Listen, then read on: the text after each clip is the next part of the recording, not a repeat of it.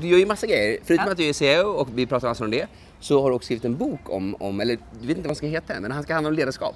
Den handlar om ledarskap. Den Just handlar det. om ledarskap i en snabbrörlig digital värld. Ja. Den kommer ges ut i år. Eh, så det kan man lyssna på podden och så kan man också eh, läsa din bok när den kommer. Men om du skulle ge några tips till, till någon som är kanske ny chef i, i teknikvärlden eller i den här världen, vad, vad, vad, ska du liksom, vad ska man tänka på?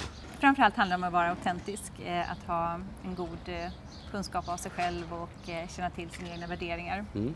Så man verkligen kan driva liksom ett, ett hållbart arbete. Det finns, det finns ingen som vill följa strategier, men vi alla vill följa människor. Mm. Och i ett mer datadrivet, snabbrörligt samhälle och där vi får mer och mer teknik så går vi mer och mer också mot det som är autentiskt och ledarskapet bör verkligen präglas av det.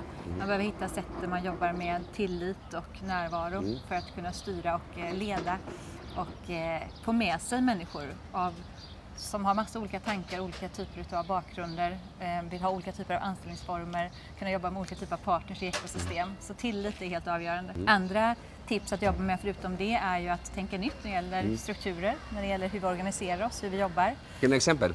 Här behöver jag tips. Ja.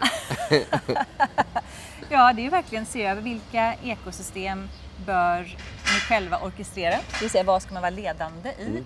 Inse att man kan inte jobba isolerat med, tror att man ska äga kundresan helt själv, utan Nej. se på vilka eh, kundresor ska vi bjuda in andra aktörer i? Vilka kundresor ska vi istället se till att vi kommer med i Just det. vårt bolag som, som andra kanske traditionellt sett ser väldigt långt utanför sin egen bransch och Mm. inser liksom att det kommer andra spelare. Men för att kunna göra det så måste man hitta sätt där man jobbar liksom med mångfald och med eh, inkludering väldigt starkt i bolagen för att kunna få nya perspektiv.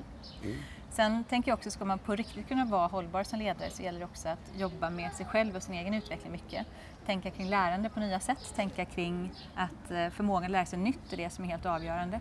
Själv så har jag inte en teknikbakgrund från början. Jag har eh, ekonom från början och väldigt intresserad framförallt av människor och vad som driver oss människor och har genom alla år istället sett till att lära mig nytt, nytt, nytt hela tiden. Lärt mig teknik ända från början, lärt mig programmera, lärt mig och hela tiden tänkt det här att jag vill lära mig nytt och det är jag helt övertygad om att, att förmågan att lära sig nytt är det som är avgörande. Det och också att kunna ta hand om sig själv. Mm. Därför att eh, världen rullar på snabbt eh, och det finns så många härliga, goda ledare som jag så gärna hade velat se jobba kvar men som jag märker på olika sätt bränner ut sig själva. Just det. Och det gäller att ha lika starka strategier för återhämtning som man har för prestation om man på riktigt ska kunna vara hållbar som ledare. Det här skulle vi kunna läsa en hel, skriva en hel bok om. Ja, eller hur? det har du gjort. Tack för att du kom hit Ann. Det här var jättekul tycker jag. Tack!